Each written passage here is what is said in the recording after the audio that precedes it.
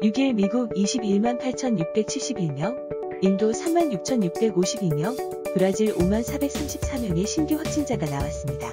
미국 내 코로나19 확산세가 최악의 상황으로 치닫고 있습니다.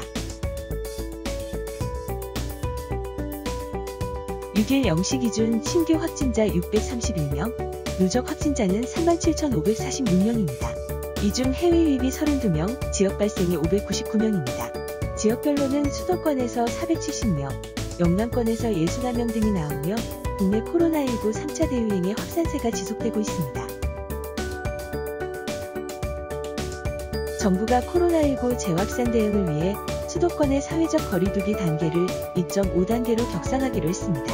2.5단계는 8일 0시부터 3주간 시행되며 5종의 유흥시설 외에도 노래 연습장과 실내 체육시설의 운영이 중단되고 상점과 영화관, PC방 등은 밤 9시 이후 문을 닫게 됩니다.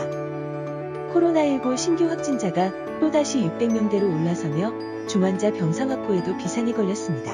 중대본에 따르면 수도권의 병상은 총 20개가 남았고 전국적으로도 10% 정도만이 남은 것으로 집계됐습니다. 미국에서 코로나19 하루 확진자가 22만 명을 넘으며 또 최대치를 기록했습니다. CNN 방송은 존스 홉킨스 대 자료를 인용해 4일 신규 확진자가 22만 7천여 명으로 코로나 사태 이후 가장 많았다고 보도했습니다.